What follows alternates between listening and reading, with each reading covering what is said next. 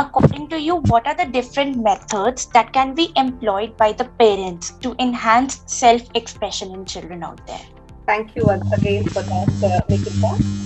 Uh, I'll just get back to what uh, Dheeraj, uh, Dr. Dheeraj just now mentioned win win situation.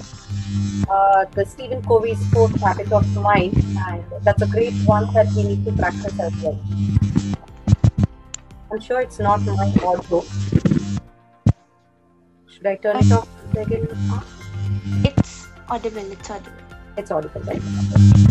Um, so what, what we do is, I, I, I think Nikita, I think you need to mute yourself. Maybe, yeah. I think that's it. Yeah. Thank you. Uh, see, basically, what happens is in children, uh, they do not know their social emotional learning has right now stagnated. So that means to say, that means to say they have not met human beings apart from their parents. And you know this is the time in their growing up phases they need to actually meet fight love share talk and they have to i, I had students coming back to school because i was a new principal uh, in the pandemic you know. They wanted to come and see imagine a 5 year old or 6 year old child who who has troubled his parents and has expressed himself i want to see my new principal and feel her. I, I had a parent who did come and say ma'am it's okay even if it is a pandemic situation. We've not been able to satisfy our uh, you know uh, children. They want to feel you. They want to touch you. Because the the human being should be felt. Otherwise the only human beings that they are seeing is their parents. And uh, uh that, that's a kind of expression you know and coming back to what are the other things we've done to uh, for children not to just say am i audible or visible? The same mantras back again uh, you know in a uh, virtual classroom. You know we say remove a thorn using a thorn itself right? That's a general thing that we hear all the time okay? A poison again administered with a poison can become like an anecdote and it can save a person. So is the case.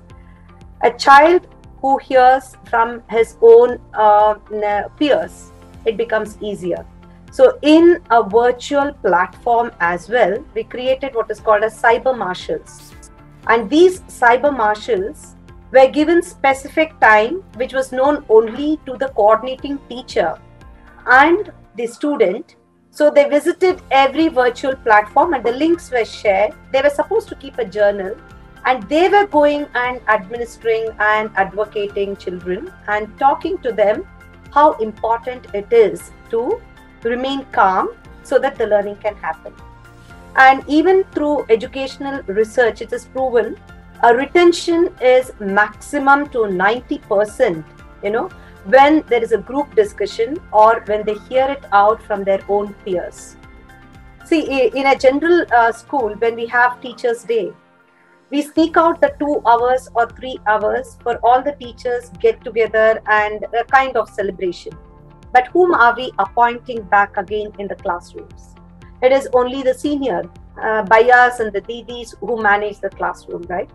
So uh, you see when they come back they have so much to talk about so much to talk about their bayas and didis and say that ma'am you know something this is what baya taught us or this is how didi taught us they'll forget what their math teacher taught them or what uh, their English teacher taught them, but they remember getting it from their own senior uh, children.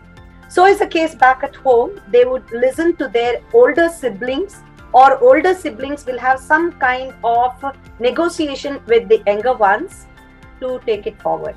So I feel this kind of a win-win situation used amongst themselves truly was amazing effect in my school and also it taught the child who was highly energetic to channelize her energy levels to taking through this process of visiting all the classrooms maintaining journals tabulating the result. So i have also tried to impact on her innate abilities of uh, maintaining that kind of tabulation because tabulation observation is also one of the competencies that they need to learn.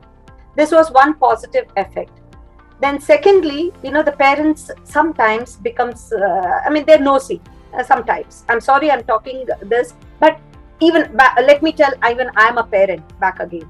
So sometimes you know you become nosy and you try to interfere into every aspect of what your child is doing. And now our classrooms are in everybody's house. Earlier there was at least a barricade you know and it used to happen only in the school premises. And any doubt or any kind of uh, uh, things that they would want to voice out they were coming to schools. Now our classrooms have opened up in every home.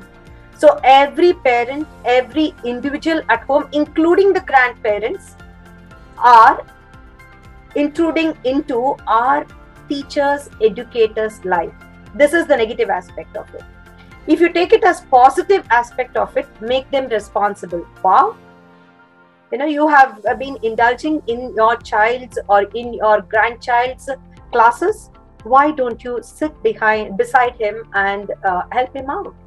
So try to make that a possibility and be optimistic about it and it truly functions. This is one thing and have one-on-one talk with the parents. One-on-one talk with the teacher parent and the head of the institution or a coordinator or a student you know a special webinar taken only with the three centric people uh, truly makes a change as well. These are the three things which i uh, made uh, abundant usage in the last uh, 18 months and it has truly helped me. Thank you. According to me uh, parents should let their child explore in uh, whatever field they wish to they should not just uh, curtail themselves to only career only good career opportunities and what even if a child has interest in singing or uh, maybe a photography the parents should let them explore it should not be no sorry इसमें career नहीं बनेगा engineering करो डॉक्टरी डॉक्टरी बनो nothing like that they should let them explore and uh, as uh, more and more the child will explore he'll be able uh, his expressive uh, expressive abilities will increase and uh, thereby the personality and identity. And uh, as such i say that today leaders are born um, with the ability to express. Leaders like steve jobs elon musk and bill gates are able to because they are able they have achieved this position because uh, they are able to express themselves uh, so as per me parents should let them explore their child. Thank you very much.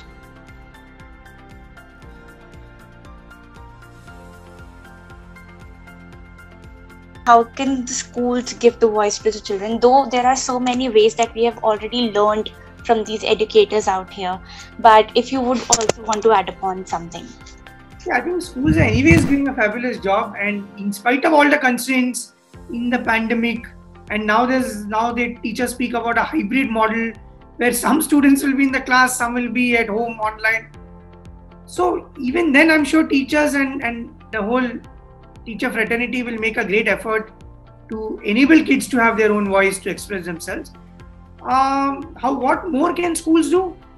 I i would say that that schools will need help because when there are you know even throughout the pandemic there were so many students and obviously uh, a, a teacher cannot make every student express themselves.